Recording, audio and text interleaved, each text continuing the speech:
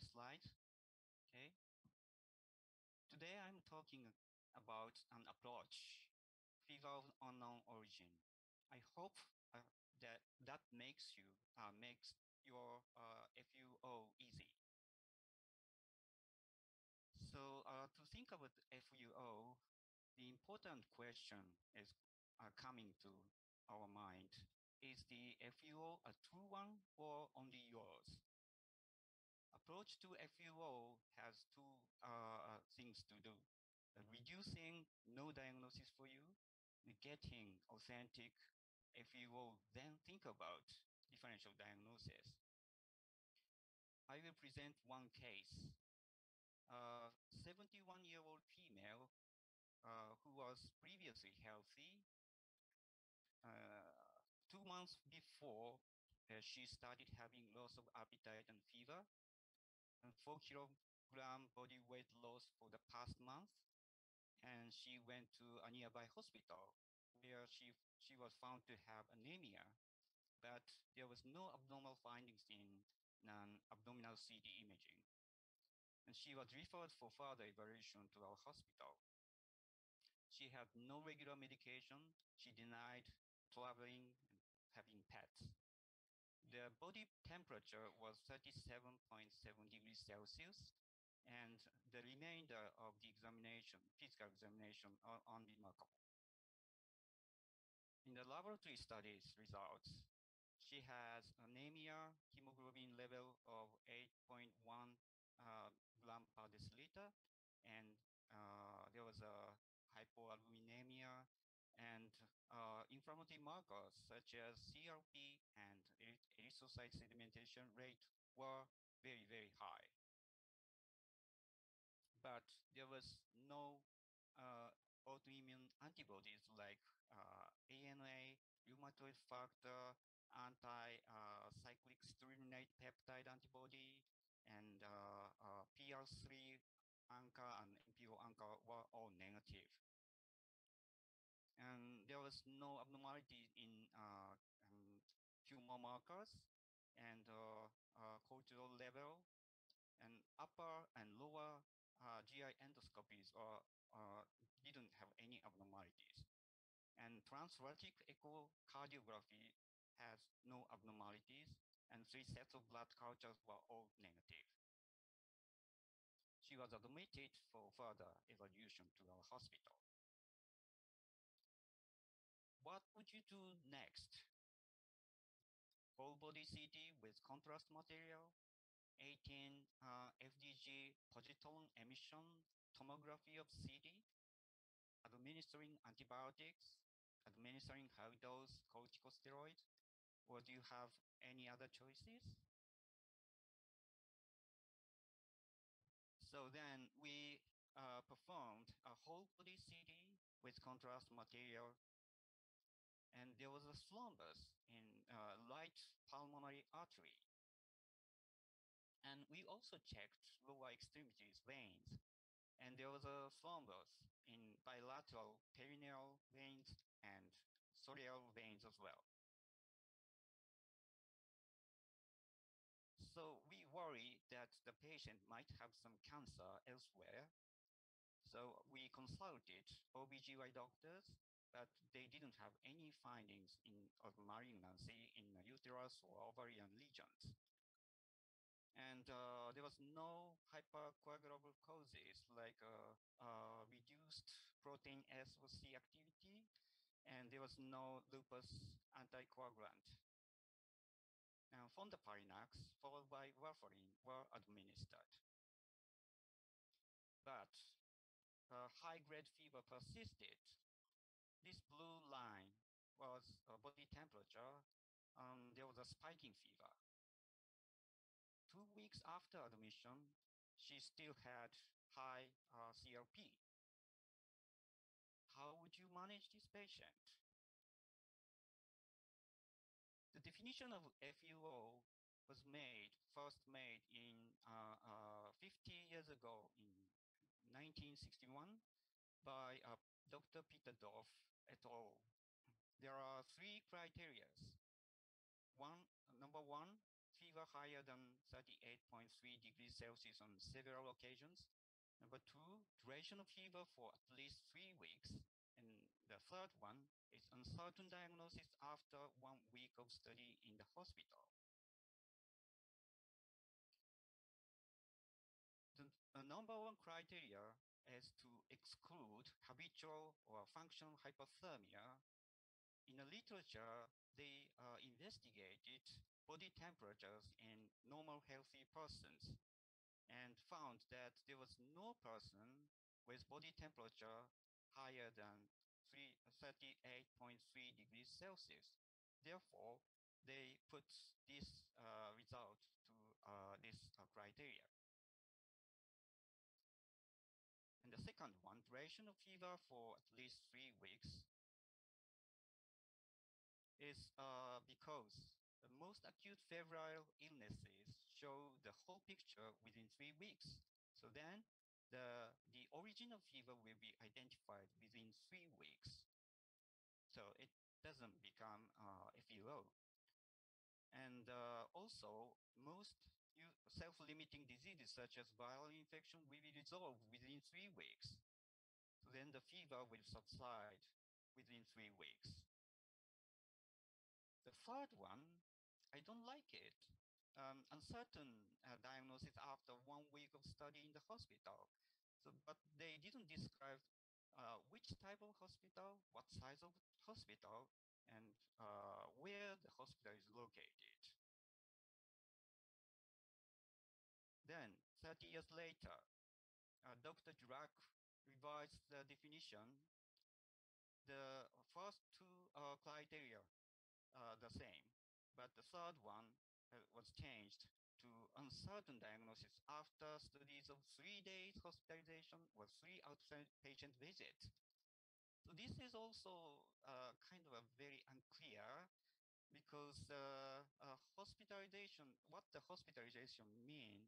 So which type of the hospital is it? Um, which, uh, how, how large the hospital is?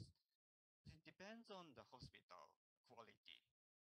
But uh, there is no uh, such description. And Dr. Durack also added the three other types, nosocomial FUO, neutropenic FUO, and HIV-associated FUO. Uh, this is, I think, very good. After uh, more than 10 years, um, the third one was revised by uh, Dr. Knockaert. Uh, this is uh, certain diagnosis after a list of investigations as follows. So double X. This is very good because regardless of the type of the hospital, size of the hospital, but the, the, you need a list of investigations. So it's a kind of qualitative, qualitative definition. Duration and frequencies are quantitative definition. So what does double X mean? There are comprehensive history and physical examination, routine blood test, microscopic urinalysis, cultures, blood, urine, other fluid, and chest radiograph abdominal US, and uh, antibodies like ANA, ANCA, rheumatoid factor, tuberculin skin test, and uh, serology directed by local epidemiological data and also further evaluation directed by the abnormalities detected by above test, HIV, cytomegalovirus, EB virus serology, and chest CT echocardiography. So it's a long list of examination. So uh, I want to ask you, what has the highest proportion in FUO causes? Infection, neoplasm, non-infectious inflammatory disease, miscellaneous, or no diagnosis? So the answer is no diagnosis. So we are facing a challenging era for UF, U, uh, FUO diagnosis. Why is it no diagnosis? Probably due to advancement of imaging studies we have whole body CT, MRI, transthoracic echo, uh, uh, cardio echocardiography or transesophageal echocardiography. And we have a positron emission tomography. Um, in one uh, literature uh, describes that you should first perform PET. So then uh, you can diagnose uh, third of patient in F with FUO. Um, PET is very expensive examination, but if you do PET uh, at first and then uh, you can diagnose the patient with FUO, and uh, it uh, doesn't cost less compared to uh, starting many examinations before the PET. And uh, also thanks to advancement of micro microbiological studies, we have automated blood culture system. So HACEK bacteria, which can cause uh, negative bacterial uh, culture negative in, in uh, infective endocarditis. So you, uh, many years ago, um, HACEK bacteria uh, will uh, grow uh, only uh, after two weeks. So it's, it takes longer. But uh, thanks to the advancement of culture technique, the HACEK bacteria can, can be detected within one week. And we have gene amplification technique like uh, PCR or LAMP. And also thanks to advancement of serological studies, useful, uh, we have useful serology techniques such as uh, soluble IL-2 receptor or ANCA. So most fever would not be an FUO by those, but sometimes um, FUO, uh, no diagnosis, is only for you so uh, why is no diagnosis is only for you? So how do you assess exam results? Do you think negative ANCA means no vasculitis? Think negative transthoracic echocardiography means no infective endocarditis, etc.? So how do you assess opinions of specialists, especially pathologists? Um, they sometimes say it's possible to be lymphoma. Uh, we cannot exclude the possibility of lymphoma. Um, so it's uh, not incompatible with lymphoma. It's not inco incompatible, blah, blah. So sometimes you are taking a plunge. You, you, you cannot wait until you get a proper diagnosis. So uh, if the antibiotic antibiotic is effective, so you think it's as infection, and if the steroid is effective, you think it as a steroid responsive disease. So you, you cannot reach the conclusion, but uh, cannot wait until uh, getting the diagnosis and use uh, antibiotics or uh, steroids. So I would uh, say how to reduce no diagnosis for you. The first one is connecting the dots. That means super review of clinical causes of the patient. And the second one is trusting yourself. That is to uh, assessing the test results or opinions from specialists in line with your super review. The first one, um, what does connecting the dots means? So the informations, uh, pieces of information are scattered in different sites or different places. So you should uh, get all information uh, together to create a complete review record. And sometimes you should ask previous doctors if needed, and uh, you should review all medication used and review all laboratory and imaging results and review all culture results and timing of antibiotics. So this is an example of a super review medical record. Uh, this is written in Japanese. To uh, create, uh, make this review, uh, review very hard. But after uh, this is made, it becomes easier to uh, manage the patient. The second one is trusting yourself. So uh, do you remember the case I presented? Uh, the female, 51-year-old female who has fever, weight loss, anemia. So uh, pathologist didn't uh, describe um, any other abnormalities rather than uh. But uh, we review the clinical picture. An elderly female with two months history of loss of appetite, loss, weight loss, fever, anemia, high inflammatory markers, but no specific findings for original fever. So uh, this, this uh, picture is very likely to be uh, um, giant cell arteritis. So we check we checked aortic wall in the CT scan again. So uh, look at this. What do you think about it? I think we thought that this is a little bit thick. So then um, a literature says that the aortic wall thickening in CT can increase the diagnostic accuracy of giant cell arteritis. So we gave a high dose steroid to this patient and uh, she get she got better and she's fine now.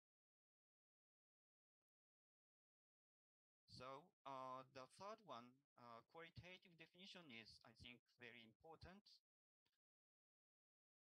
So I would say uh, an authentic FUO is fever higher than 38.3 degrees Celsius, duration of fever at least three weeks, and then an absence of no diagnosis for you using uh, uh, super review. And the last one is diseases slipping through a filter of double X, panel of investigations. Infectious diseases slipping through a filter of double X. Uh, for example, infectious endocarditis, especially uh, antibiotics are already used the blood culture will be negative. The osteomyelitis, especially vertebral osteomyelitis, uh, didn't show any sign of uh, abnormalities in the uh, MRI or CT in early phases. And uh, entrance and exit mm-hmm. infection, um, so uh, this is, means a dental infection, perianal abscess, so it, uh, you would not be checked. Neoplasm, um, malignant lymphoma, especially uh, intravascular biopsy specimen, sometimes did not contain any abnormal findings. And prostate cancer also not, uh, is not easy to detect in imaging, and tumor fever, uh, especially after chemotherapy. Inflammatory diseases, giant cell arteritis neg uh, has negative ANCA, polyarteritis nodosa has also negative ANCA, and polymyalgia rheumatica is a diagnosis of clinical, uh, uh, clinical diagnosis and exclusion others. And adult onset Still disease is a disease of clinical diagnosis. And some uh, there are some other uh, list of uh, miscellaneous diseases. For further test, uh, biopsy, including body marrow, bone marrow, and we have the of, word of wisdom, tissue is the issue. So repeat it if necessary. A PET scan gallium is uh, to look for a biopsy site. Uh, try questioning if you have, uh, if the patient have periodic fever to detect familial Mediterranean fever and stop suspicious medications uh, to detect drug uh, fever. And patient uh, with no diagnosis still, um, so you do not worry about it it's a possible uh, self-limiting diseases and they have favorable prognosis. As a take-home message, uh, connecting the dots, trusting yourself, getting authentic, if you will, thinking disease is slipping through double X and uh, tissue is the issue. Thank you very much for your attention.